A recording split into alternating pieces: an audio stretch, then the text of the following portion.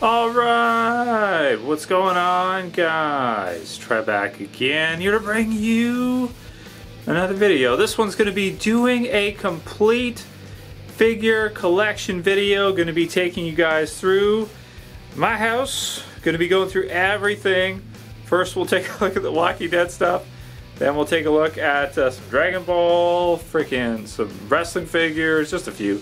Uh, Marvel, DC. Let's go through everything. Let's see Trev's complete collection.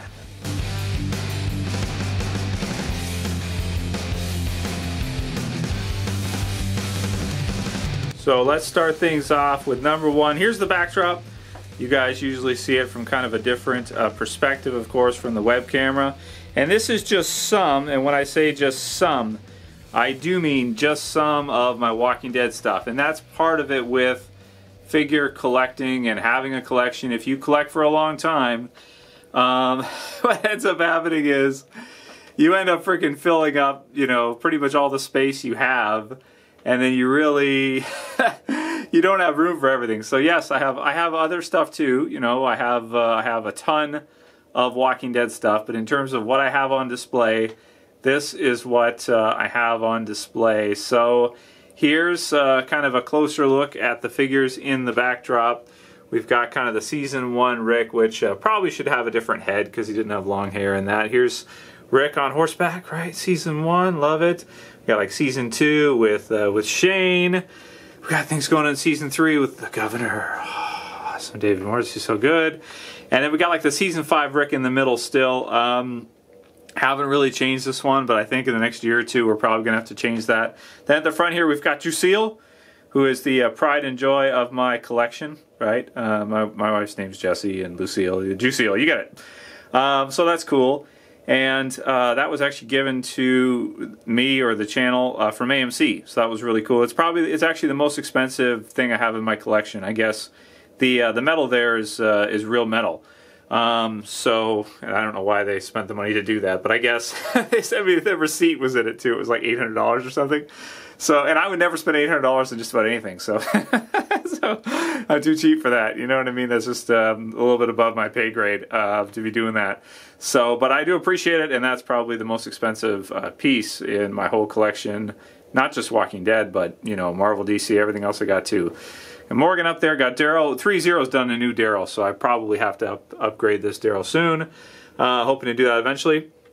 Here's a custom that I had done before The Walking Dead became popular, uh, like around like I think it was like season one or just before season one, of a, a custom comic Rick. So that's what Rick looked like in the comics at one point and uh, like around the prison time. And we got uh, Merle there. We've got uh, some of the posters here. We got the Carl poster, which is still cool. I really like this one. You know, you got Rick, and because it's like the beginning down there, and you got the others, and then Edie, Meanie, Miney Mo got Trust Into T-shirt, and then we got the uh, the Killing It Daryl poster underneath that right? And there's all kinds of posters like layered here because I don't take the time to take them down. I just pile them on top of each other. So there's like there's like ten posters in here on top of each other. So kind of awesome. So there it is from another angle. There's the uh, the uh, infamous backdrop. Cool. And then continuing on, we got the Dragon Ball Z stuff. Oh man, absolutely love me some DBZ. Um, you know, ever since I was younger, it's it's still one of my favorite uh, anime of, of all time. Um, probably will never change. I know some people they don't like DBZ so much. They think it's like too simplistic or whatever. I love DBZ. You know, you can watch at any age. Don't care how old you are, and it's it's always fantastic. We got Goku at the front there. We got Frieza. Got some different Vegetas. Broly. Uh, Shenron was pretty new. I just got him uh, for Christmas last year, so that's cool. Um, Vegeta's my favorite character pretty much always has been ever since I was a kid. Um, might be why I like Negan so much in The Walking Dead. Uh, there's a lot of parallels you can make between Negan and Vegeta. Um, so yeah, it's cool. You know, they start out as a villain and then they kind of, over time, you know, kind of become bros with the, the lead Goku or uh, Rick in the uh, in the comics. So that's pretty cool.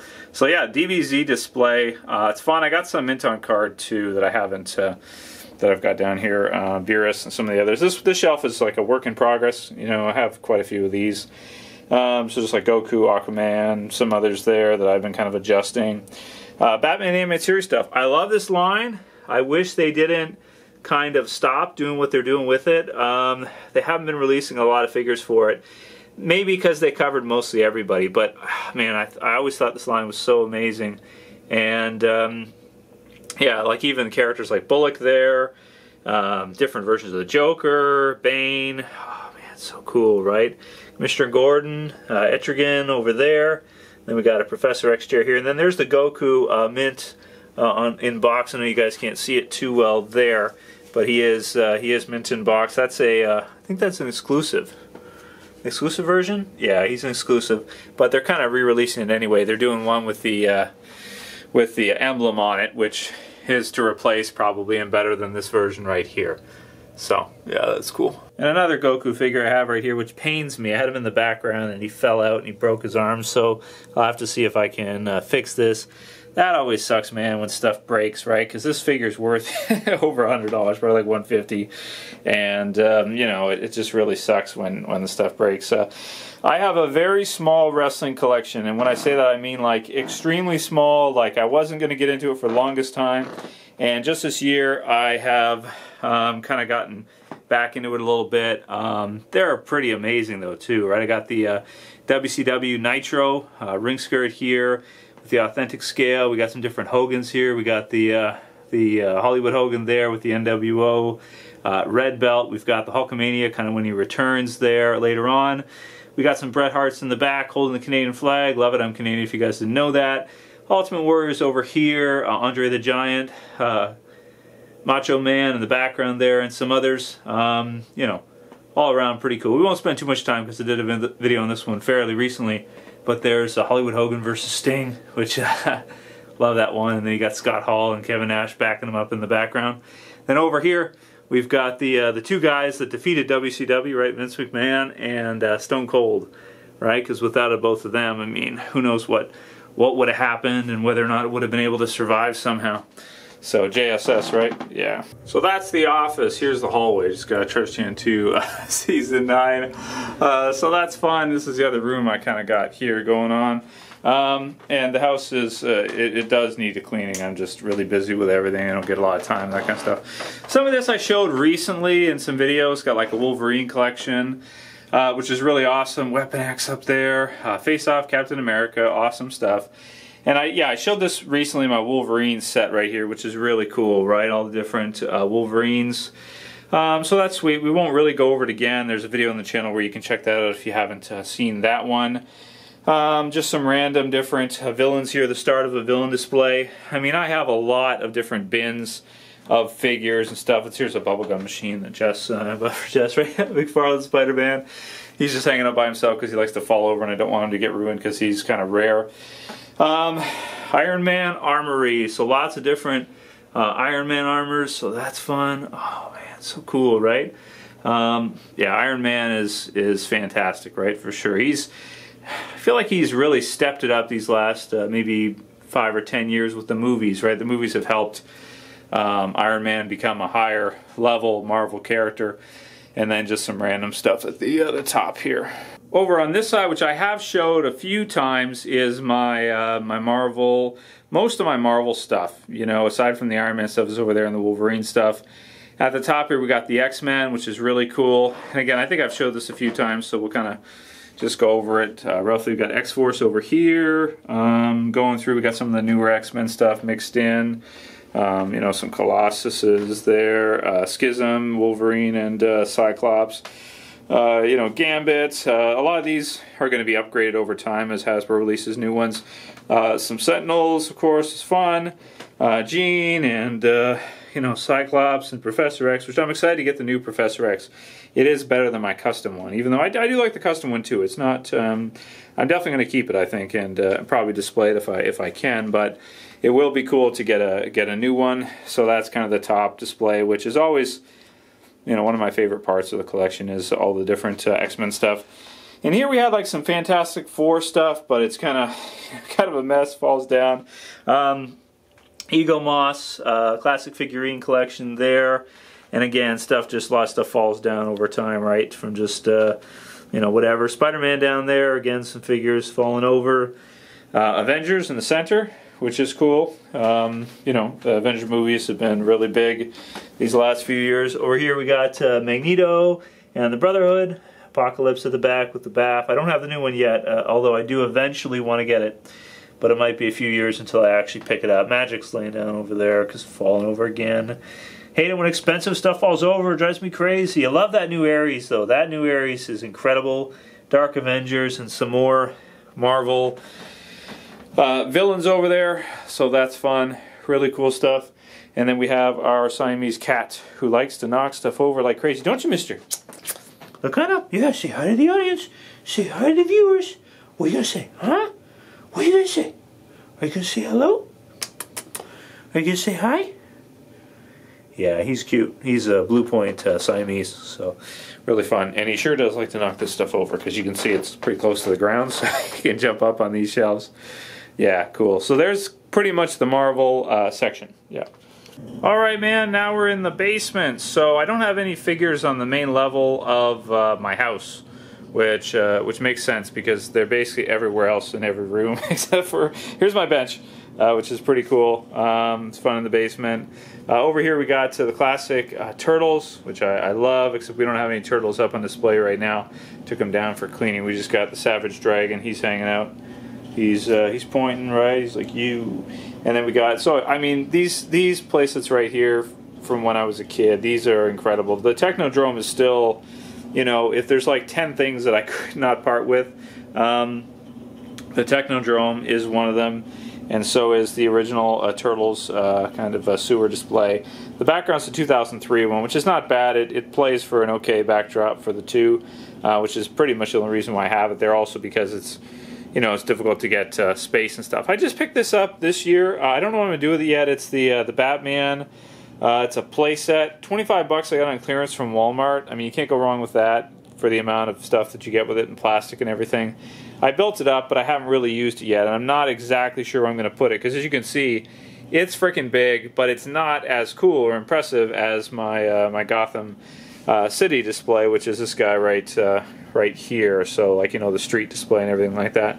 Uh, I've shown a lot of this before. Joe's Pizzeria, um, Batmobile, different. We've got the uh, the five pack of the uh, Batman Rogues Gallery, which is awesome animated series, and then on top we got kind of like a Brave and the Bold Batman type of uh, display. Superman.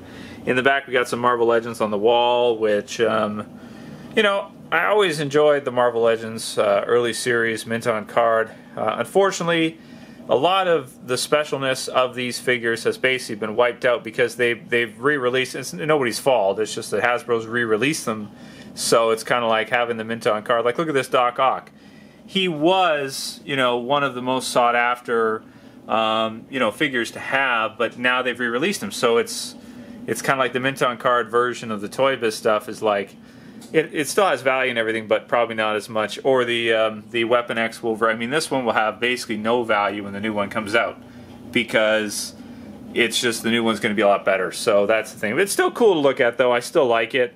You know, to get to see it like that is is pretty fun and, and pretty neat. Um, I don't regret buying those ones, but yeah, we got Batman set up here. Uh, Robin and Catwoman have fallen down, so there's that. Um, street level type display. We got like a back alley in there with Mirror Master, so that's kind of nice. And um, Batman up here, another building here. Batman Soups, um, Dark Knight Returns, and uh, Ghostbusters. Firehouse has been repainted to match Gotham, which is cool. Logo at the front. Um, Jokers, some Jokers around, which is cool. And a Gotham City sign right there, so that's sweet with a custom Batman on top. Bane, some of the others, some DC Universe in the background there. Kind of a cool little alleyway display here with uh, Red Hood and uh, and Joker and another building. Uh, DC stuff, and then I got some more stuff on the wall here, like Naruto series and stuff like that, which never really took off that well. So it's been basically uh, canceled that one. So, but yeah, cool. Don't know if I ever showed this. Uh, Batman Begins uh, wall, so it's the same size as there's some details there, so you can see how big this guy is there. Um, really cool. Got that one for free. Um, as like a wall poster. So that's a wall board type, a cardboard poster type of deal. Kind of bright over here, so I'll try to veer away from it. And um, you know, basically here got Galactus who's just in there. Some stuff is just kind of around because got to find room for it as I clean and move stuff. And you guys know how it goes. When you have too much stuff, it gets kind of cluttered. We got the uh, the Batwing in the back there, and then we have the uh, Batman Forever uh, playset, which has got you know some different Batman on it, that kind of thing. Um, there's a Minton card, DC superheroes, so that's fun. And I did create a custom base for this. So what do you guys think of that? I think that looks pretty neat. What do you think? You got like the, uh, um, you know, like just some just some rocks and stuff like that. It's basically paper mache. That part is supposed to be water. Uh, and you got the bat boat up here. We've got um, kind of the bat computer and uh, a Dark Knight sort of Alfred, Batman kind of thing going. Um, same kind of deal over here and over there. And yeah, and then this this Bruce uh, Wayne, his head's falling off. It's right, uh, it's right there, right? So yeah, so that's cool. So that's kind of this whole side of like my basement. You know what I mean? Is taken up. So it goes in from the Batman Forever Batcave diorama into sort of Gotham City, and then all the way down with uh, with the Gotham City across pretty much the whole the whole of the uh, the basement. And then I do have this too, which is pretty sweet. Uh, Dark Knight, um, you know, Christian Bale, Batman, cardboard standee, so that's pretty sweet there. Um, yeah, that's that's awesome, right? I got some different, got some uh, weights around here, stuff like that. Um, and then these these detops, I think I've shown a few times. It's kind of dark over here, so let me see if I get a light for us going. Um, so we got like uh, you know some hot toys, which uh, you know at this point they're pretty uh, kind of played out. I've shown them a bunch of times. 89 stuff, right, which is really cool. Um, Batman, that's kind of reflecting.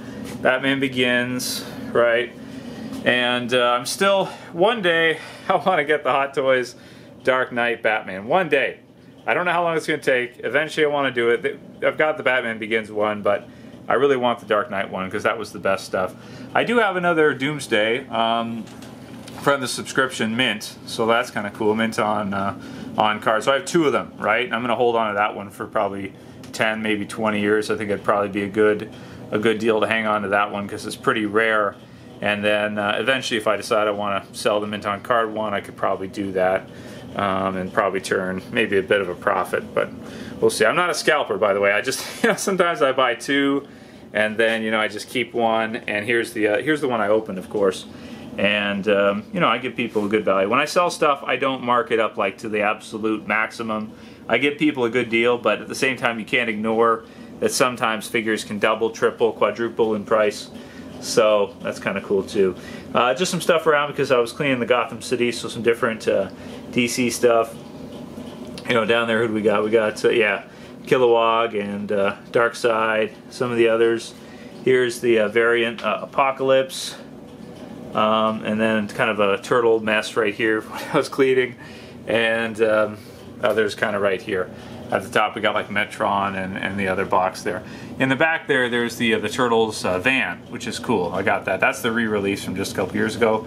Custom Age of Apocalypse Apocalypse. And that's it, man, for as far as stuff I have uh, space to put on display, right? I mean, I have a lot more stuff. I have probably double to three times as much stuff in bins, but this is as much stuff as I can actually, you know, set up to display. I have most of the DC Universe collection. DC Universe Classics, I have basically everything. Marvel Legends, I have pretty much all the Toy Biz stuff, and, um, you know, a lot of the other stuff, kind of just missing some. So I do collect a lot of different stuff, and, um, you know, you, you definitely won't have space for everything and I've been collecting again for I'd say 12 years. But the last couple years I've really cut back. Um, just because you know try to be responsible that kind of stuff. Sometimes you get carried away with buying too much stuff and you don't want to get yourself uh, in trouble. You got to think you always got to put your family first right and, and, yourself. So you know make sure to you know match your uh, your, your work contributions uh, if your work offers you know pension plan that kind of stuff. You want to do that. You don't want to miss out on you know opportunities like that because you're buying toys, right? so you gotta be you gotta be responsible at the same time and put it in the right bin. Like this stuff is all fun stuff, and uh, it's not it's not the type of it's not life or death, right? So you know, if you have to sell it, whatever, sometimes you got to do that. If you fall in hard times, you lose your job, whatever, this kind of stuff, it happens, you know, over the years for sure.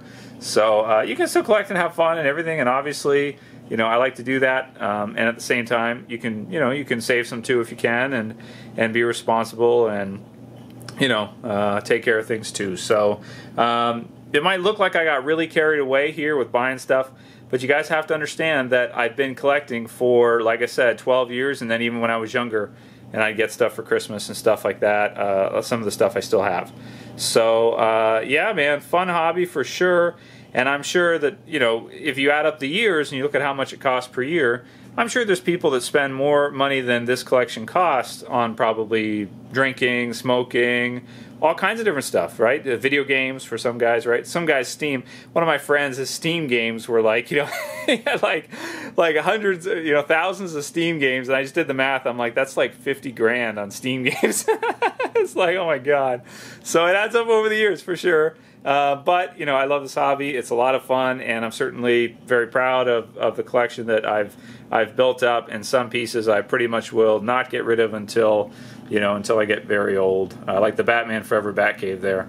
I actually got that um, you know with some uh, inheritance money I got when my uh, my grandma passed away. So, uh, so some of the stuff is really, you know, can be sentimental. Some of the stuff can be really, can mean a lot to you. So it's cool stuff.